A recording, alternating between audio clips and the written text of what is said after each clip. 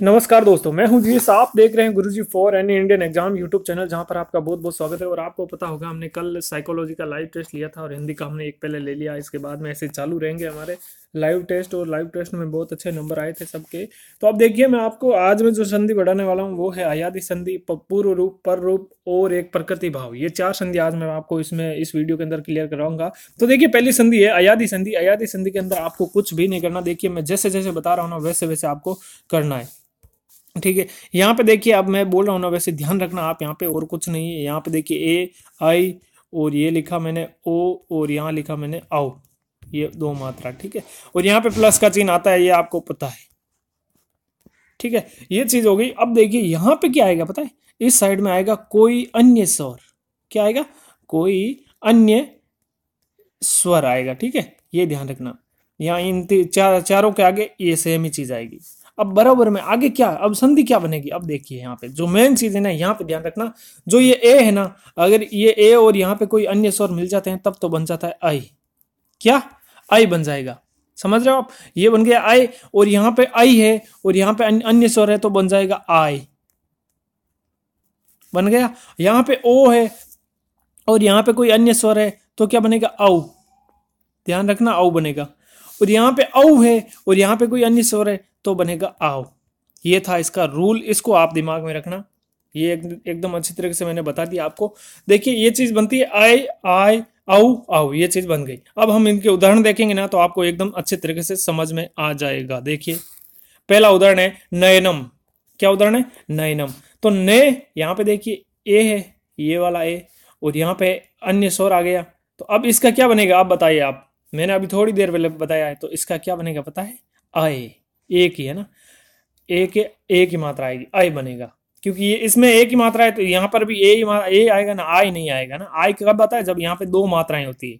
ये होती हैं दो मात्राएँ, तब आता है।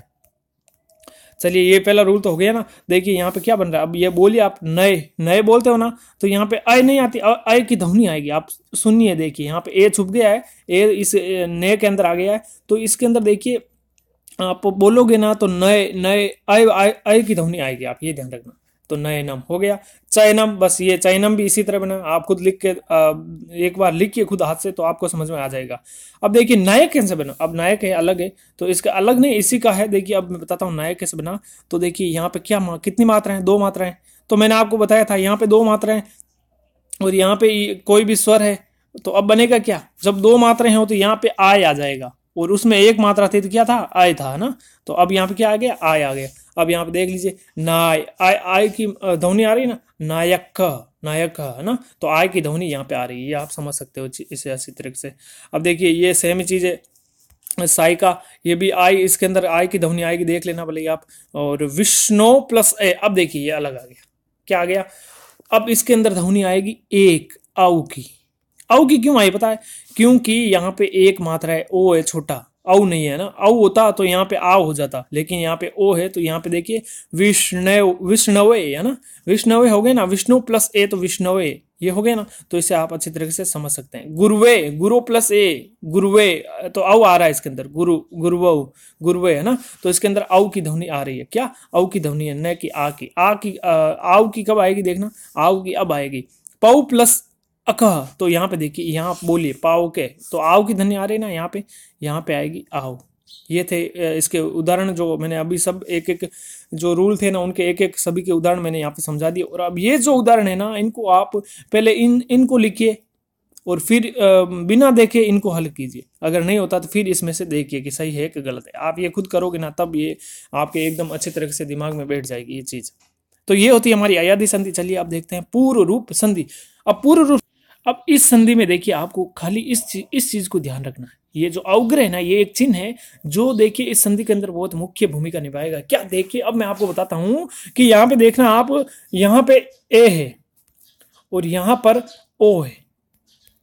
और इनके प्लस के आगे सिर्फ़ और सिर्फ़ एक ही चीज़ आएगी, वो है छोटा ए, हस्व। हस्व जो ए है ना, ये स्वर है ना, ये ही आएगा। ये हमेशा आप ध्यान रखना, पूर्व रूप संधि हम पढ़ रहे हैं, जिसके अंदर इधर तो आय आएगा और इधर औ आएगा ना, नहीं औ नहीं आएगा, ओ आएगा ना सॉरी ये ए और ओ आएगा ना, और इसके आगे है जो ये ए ही आएगा, ये आप हमेशा ध्यान रखना। आप देखिए जो उदाहरण है ना, वो देखोगे तो आपको समझ में आ जाएगा, ये जो, ये सारी चीज़ें आपको पढ़ने की ज़रूरत नहीं है, क्योंकि मैं आपको समझा रहा हूँ, बरोबर है ना? ये आप पढ़ोगे तो थोड़ा बहुत कंफ्यूज भी हो जाओगे, इसीलिए मैं नहीं बता रहा हूँ ये चीज़ें।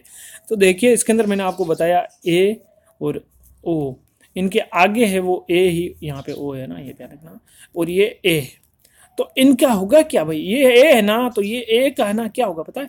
ए का, ये ओ तो अपनी जगह पर रहेंगे। मतलब कि ये तो स्वर है तो स्वर उस व्यंजन के अंदर मिल जाएँगे और उसकी मात्रा बन जाएँगे। और ये है ना, ये इस ए का बन जाएगा, ऐसा अवग्रह आएगा। अब देखिए कैसे। आप समझते हैं, आपको मैं एकदम अच्छे तरीके से समझाता हूँ। ये देखिए। तो ये क्या है? हरे है? तो यहाँ इसकी संधि क्या, संधि विच्छेद क्या होगा? देखिए, हरे प्लस औ। हरे प्लस औ बन गया। मैंने क्या बताया था? ये देखिए, यहाँ पे ये क्या है? ये ए ही है ना? ठीक है? ये चीज़ तो आप समझ गए। और इधर मैंने कहा था ए आना चाहिए, आ गया। चलिए, ये संधि तो पूर्व रूप का रूल पूरा कर रही है कंप्लीट कर रही है। पूर्व रूप, ये जो संधि है ना, ये जो संधि है, ये पूरा, पूर्व रूप संधि का पूरा कंप्लीट कर रही है। कैसे? कि यहाँ पे ए है और यहाँ पे यहाँ पे ए होना चाहिए। ठीक है? तो इसका बनता क्या है पता है? इसके अंदर ये जो ए है ना, ये ए इसके अंदर रे के अंदर तो रहेगा। ये सेम का सेम रखना है अपने ये जो चीज़ है, इसको सेम रखनी है, क्योंकि ये ए तो इसके अंदर अपने आप ऑटोमेटिक आ जाए स्वर है, जो व्यंजन के अंदर मिल जाता है, ये तो आपको सबको पता है। तो ये देख लीजिए, मैंने ये रख दिया, हरे। अब यहाँ पे इस ए का, इस ए के स्थान पर हमें क्या करना है पता है आपको? इस ए के स्थान पर हमें अवग्रह चिन्ह लगाना है। ये हमने अवग्रह चिन्ह लगा दिया, और ये बन गया हरे ये संधि बन गई। देखिए, बहुत अच्छी तरीके से, बहुत सरल संधि है। इसका उदाहरण मैंने आपको जब इसका पहला पार्ट अपलोड किया ना, उसके अंदर मैंने क्वेश्चन बताए थे, पिछले साल आए हुए। तो उनके अंदर मैंने क्लियर भी करवाया था। आपको बता एक उदाहरण और बता देता हूँ। मैंने क्या बताया था? यहाँ पे होना चाहिए ओ और इधर आना चाहिए ए तो बस ये ओ तो इसके अंदर है ही ऑटोमेटिक तो इसको तो अपनी जगह रखना ही, यहाँ पे देखिए ये ऑटोमेटिक इसके अंदर है ही। अब यहाँ पे ये अवग्रह चिन्ह कैसे आया? ये इसकी जगह अवग्रह चिन्ह आ गया, ये ए की जगह अवग्रह चिन्ह आ गया। तो यहाँ पे क्या बन गया? विष्णु अव क्या बन गया? विष्णु है ना? विष्णु बन गया। तो अब देखिए, ये दो दो उदाहरण है ना, ये जो यज्ञ, अस्मिन और धन्यो असी ये दोनों उदाहरण आपको खुद को देखने, खुद करोगे तभी होगा। यहाँ पे देखिए, यहाँ आपको कुछ नहीं देखना ये आगे कोई नहीं ये तो जो चीज़ें है ना सेम ही रहती है। लेकिन यहाँ पे जो ये मेन चीज़ है ना, यहाँ पे आपको पकड़ना है। जैसे ही अगर आपको संधि में पूछ लिया जाए कि भाई, इस यज्ञ अस्मिन का जो संधि विच्छेद कीजिए तो आप आराम से कर देना, इसके अंदर कुछ सोचना मत, ये तो सेम ही लिख देना और इसकी जगह ए कर देना, बस बाकी सेम रहेगा। ये देखिए, यहाँ पर भी ऐसा ही करना आपको। अगर इसकी संधि विच्छेद पूछ लेना तो ये धन्यो तो सेम ही लिख देना और यहाँ पे ये अवग्रह है ना इसकी जगह ए कर देना। और ये संधि विच्छेद दे दे और संधि करने का कह दे तो इसकी जगह ए कर देना, बाकी सभी सेम रखना। ये होती है पूर्व रूप संधि। अब हम पढ़ेंगे। लेकिन रुकिए, आगे बढ़ने से पहले हमें, मैंने आपको, आपने मुझे एक सवाल नहीं पूछा। शायद पूछा होगा किसी ने, किसी के दिमाग में तो आया होगा कि, सर, अभी तो हमने अयादी संधि पढ़ी है, उसके अंदर यही तो बात थी।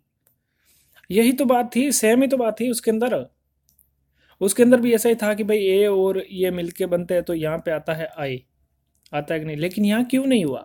तो एक बात बता दूँ, आप ध्यान रखना, ये जो अपन ये संधि, पूर्व रूप संधि पढ़ रहे हैं, ये अयादि संधि का अपवाद है। ये आपको वहाँ पे ऑप्शनों के आधार पर दिया जाएगा। ऑप्शन में अयादि संधि का अगर पूर्व रूप का पूछेगा तो अयादि संधि का वहाँ पे कुछ भी नहीं दिया जाएगा। कैसे? कि मान लीजिए आपको ये चीज़ दे दी तो आप ऑटोमेटिक इस चीज़ से समझ जाओगे कि हाँ ये पूर्व रूप संधि है। ठीक है? चलिए, ये तो बात होगी नॉर्मल मान लिया आपको ये दे दिया तो फिर आप कैसे समझोगे? फिर आपको ये चीज़ दी जाएगी ऑप्शनों में. वो अयादि का ऑप्शन नहीं दिया जाएगा, ये ध्यान रखना ना. और एक चीज़ बता देता हूँ कि ये जो मैंने, ये जो लिखा है ना ये जो एग्ज़ाम्पल लिखा रहा हूँ मैं, ये आपको पता है, मकान को जब मकान बनाते हैं तो उसके आगे का हिस्सा जो एक पत्थर रखते हैं ना, अलग अलग ही तरह का एक पत्थर होता है, उसको कैसे काट काट काट के अलग एक अच्छा पत्थर बनाया जाता है, वैसे ही इन उदाहरणों को चुन चुन के लिखा गया है, जैसे कि यहाँ पे ये चाइना में ना तो ये टेट आर टेट हुआ था जब 2012 के अंदर, उसके अंदर ये क्वेश्चन आया था। है ना? ऐसे ही आपके आपके भी एग्ज़ाम में इन उदाहरणों में से क्वेश्चन आएँगे, देखना। अगर आप इन चारों को भी ध्यान से देखना, इन चारों में से भी आ सकता है पूर्व रूप का पूछे तो है ना? इसलिए बोल रहा हूँ, इन उदाहरणों को आप लिखिए, आराम से लिखिए धीरे धीरे लिखिए, याद करके लिखिए। अब है पर रूप संधि जिसके अंदर हम पढ़ेंगे क्या कि भाई पर रूप संधि क्या है? पर रूप संधि को पढ़ने से पहले मैंने आपको जो उदाहरण है, वो वो तो मैंने बता दिया। और पर रूप संधि देखिए, सूत्र है कि एँगी पर रूपम अकारांत उपसर्ग से परे ए और ओ से प्रारंभ होने वाली धातु के रहने पर अकार को पर रूप आदेश होता है। अब देखिए, इसमें जो चीज़ है ना, अब आपको मैं जो ये लाइन है ना, इसके बारे में पूरा कंप्लीट बता रहा हूँ। देखिए, क्या लिखिए इसका अर्थ मैं समझा देता हूँ आपको कि देखिए, अकारांत उपसर्ग मतलब कि परे, अप औ सुन रहे हो आप? परे अप, औ, उप, परा और आ। क्या देखा आपने? परे अप, औ, उप, पर और परा यहाँ पे, ये ध्यान रखना, परा और आ। परे अप, औ, उप, परा और आ। ये अगर, ये प्लस ये प्लस का चिन्ह है? क्या? प्लस का चिन्ह है? इधर है ना, अभी मैंने जो बताया ना, परे अप, औ, उप, परा और आ। इनमें से कोई इधर आ जाए। समझ गए आप?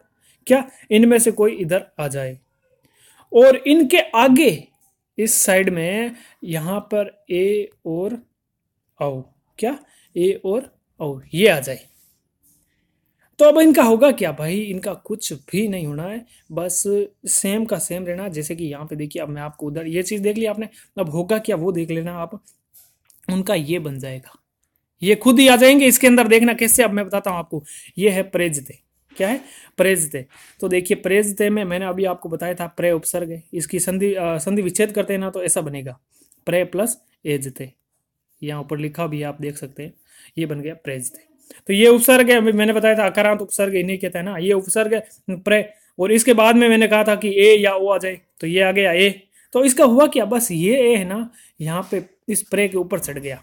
तो ये बन गया प्रेजते बस और इसमें कुछ भी नहीं हुआ। देखिए, इसमें देख लीजिए, इस उदाहरण में उपोस्ती हाँ? तो उप, मैंने बताया था, उपसर्ग है ये, अकारांत उपसर्ग है। यहाँ पे प्लस है और इधर ओ आया तो अब इसका क्या हुआ बताइए ये इसके ऊपर चढ़ा के नहीं चढ़ा? ये उप है, ये उप है तो ये उपोस्थिति बन गया कि नहीं बन गया? ये देख लीजिए बस, और इसमें कुछ नहीं है। मतलब कि इसमें ये बात कही गई है कि अकारांत उपसर्ग मतलब कि प्रे अप औ उप परा आ। ये तो आ जाए इस साइड में, पूर्व पद में आ जाए, और पर में आ जाए ए और आई, ए और ओ सॉरी ए और ओ आ जाए, ठीक है? ये आ गए तो होगा क्या? बस ये है ना, इसमें जुड़ जाएँगे और कुछ भी नहीं होना, इसके अंदर आप इतना ही ध्यान रखना। और ये एक बता दूँ कि ये उदाहरण एग्ज़ाम में आया हुआ है, और ये आपके एग्ज़ाम में आएगा, ये ध्यान रखना ना? आ सकता है मतलब आएगा ऐसा तो मैं कैसे बोल दूँ? लेकिन आ सकता है, ऐसा ध्यान रखना, बहुत मोस्ट ये उदाहरण है। चलिए, ये देख लिया, आज आपने हमने आया दी, और फिर पूर्व रूप, अब हमने पर्व रूप पढ़ ली अब हम जो एक चीज़ मैं आपको बताने वाला हूँ ना, जो संधि, स्वर संधि का लास्ट भेद है, जो आठवां माना जाता है, जिसको प्रकृति भाव कहते हैं। तो प्रकृति का मतलब आप जानते हैं कि प्रकृति का क्या मतलब होता है कि भाई प्रकृति है तो वो प्रकृति के हिसाब से जो चीज़ें बनी हुई, वो तो उसी हिसाब से रहनी चाहिए ना। रहनी चाहिए कि नहीं चाहिए? रहनी चाहिए। तो चलिए आपको उधर लेके चलता हूँ। देखिए ये रही प्रकृति भाव संधि है, जिसके अंदर देखिए संधि का एक भेद है, जिसके अंदर क्या है कि भाई जहाँ पर संधिगत वर्णों में कोई परिवर्तन नहीं होता ना, वही है प्रकृति भाव। प्रकृति देखिए, प्रकृति वैसी की वैसी रहनी चाहिए हर चीज़ की। देखिए अब इसका उदाहरण बता देता हूँ, और आपको इसमें ज़्यादा ध्यान देने की ज़रूरत नहीं है। ठीक है? क्योंकि इसका अगर एग्ज़ाम्पल आएगा तो आप आराम से कर दोगे। देखिए, ये तीन ही उदाहरण है, इनको आप आराम से दिमाग में रखना ताकि आप हर समय कर सको। तो देखिए, हरी ए तो तो ये देखिए, यहाँ पे हरी प्लस है तो। इसका क्या हुआ? इसका संधि विच्छेद किया तो ये सेम ही बन गया। विष्णु इमो तो विष्णु प्लस इमो, ये बन गया बस। गंगा अमु तो ये बन गया गंगे प्लस अमु, बस। और इसमें कुछ भी नहीं है, प्रकृति भाव इतनी ही थी। देखिए, मैं ना कोशिश करता हूँ कि वीडियो एक वीडियो के अंदर ही मैं सारी संधि ले लूँ, लेकिन देखिए, आज मैं जो ये पार्ट अपलोड कर रहा हूँ ना, इसको मैंने कम से कम तीन घंटे दे दिए। अब तीन घंटे में मैं खाली इतना सा कर पाया हूँ। इसीलिए क्या होता कभी कभी किसी का फ़ोन आ जाता, कभी कोई डिस्टर्ब कर देता, ऐसे ऐसे चलता रहता है ना। इसी कारण थोड़ा वीडियो मैं पार्टों में अपलोड कर रहा हूँ, लेकिन अगर कोशिश करूँगा, मैं व्यंजन संधि एक ही पार्ट में अपलोड करूँगा और स्वर संधि अलग एक पार्ट में अपलोड सॉरी विसर्ग संधि अलग एक पार्ट में अपलोड कर दूँगा। तो थैंक यू दोस्तों, अगर आपको अच्छा लगे ना तो इसे शेयर करना ना भूलें और मैं कभी किसी को कुछ भी नहीं कहता हूँ। थैंक यू दोस्तों, क्योंकि देखिए कहीं कुछ लाइक करने के लिए बोलते हैं बेल आइकन ये सब आपके दिमाग की बातें आप करना चाहें तो ज़रूर करें, लेकिन आप इसे शेयर करना ना भूले। Thank you